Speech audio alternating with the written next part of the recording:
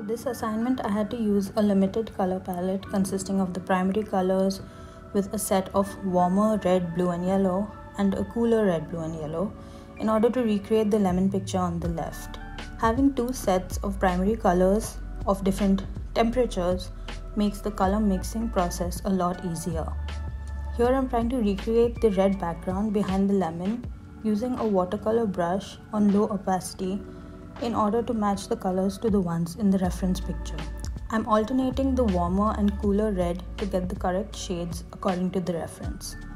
I already did the purple surface the lemon is on, but I forgot to record it and I used a mixture of blue and red and got the shades of purple which I color picked and added to the palette. I'm adding a bit of that purple near the interface of the wall and the floor as the purple from the floor will reflect onto the red wall.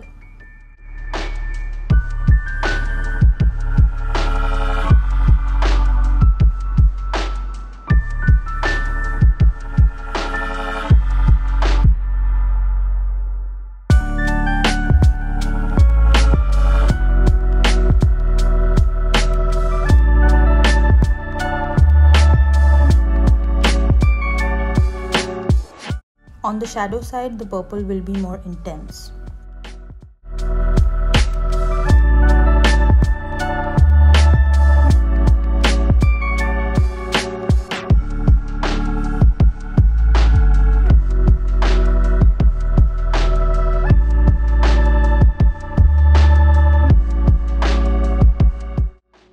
Once I'm satisfied with how the colors look, I pick them, make some adjustments and add to the palette.